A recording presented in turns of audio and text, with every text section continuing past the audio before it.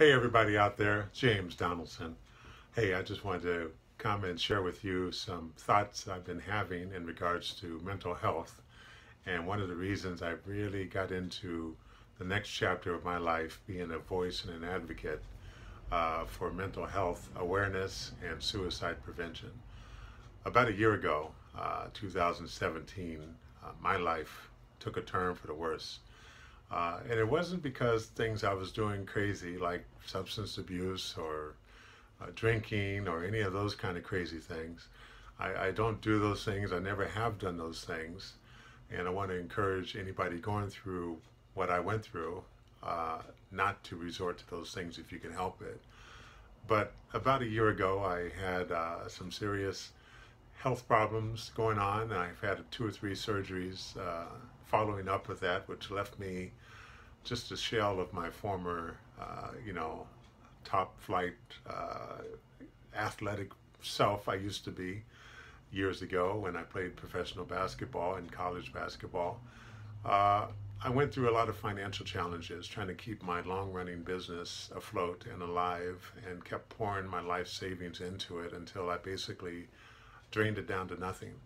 Um, and the business eventually did close. I just simply couldn't keep up with it anymore. Uh, finance companies just weren't going to finance me anymore. Uh, I had run out of my own personal money and I had to close the business, and therefore my income went away with that.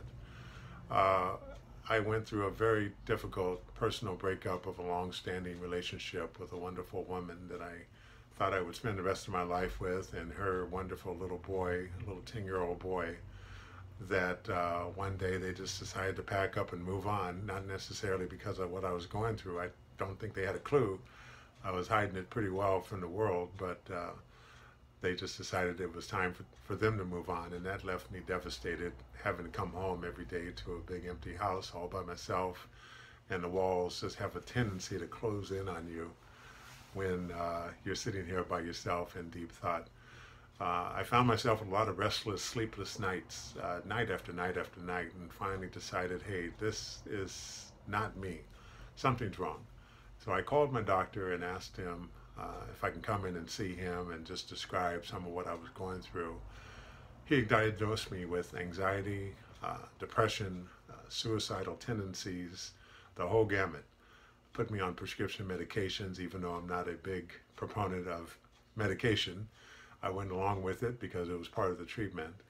And slowly but surely, after reaching out to my medical professionals, uh, then reaching out to a close, intimate group of friends who have been there and will be there throughout, uh, they put me on their speed dials. I put them on my speed dials, and they said, Hey, James, even at 2 in the morning, call us and that was really welcomed in my life.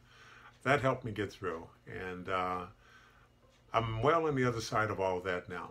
Uh, it's been a long journey, uh, a very difficult one, one of the most difficult things I've ever done in my life.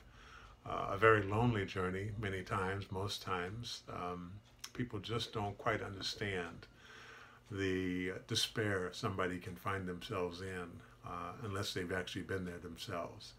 I tell you what, it's given me a great sense of empathy more than ever before uh, to understand exactly what people must be going through. One of the things that really turned me around was uh, the fact that at my alma mater, Washington State University, a young college athlete, student athlete, star quarterback, took his life in January. This is Tyler Hilinski, uh, and he was a absolute phenom on the football field. Uh, great promises ahead of him, uh, opportunities to play in the professional ranks, and all kind of wonderful things. So when he took his life in January, it just resonated with me so that I just had to shake myself out of what I was going through and told myself, James, it's not time for you to check out yet. You've got work to do and you can make a difference. And I set out to start up a new nonprofit foundation that will give me that platform to go around the country and speak to students, student groups, student athletes, athletic teams of all stripes and backgrounds. And this is what I really want to set out to do. I just wanted to share that with you and say thank you so much for your support and encouragement to keep me keeping on. James Donaldson.